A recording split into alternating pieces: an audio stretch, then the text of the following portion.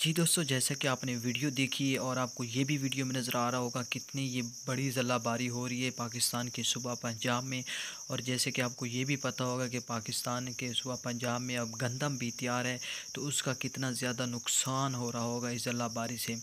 तो प्लीज़ अल्लाह पाक से दुआ करेंगे अल्लाह ताला ऐसे अजाब से हर किसी को बचाए। बाकी जो काश्तकार भाई हैं, वो बहुत ज़्यादा परेशान हैं कि जब फ़सल तैयार हुई तो ये अल्लाह की तरफ़ से क्या इम्तहान आ गया।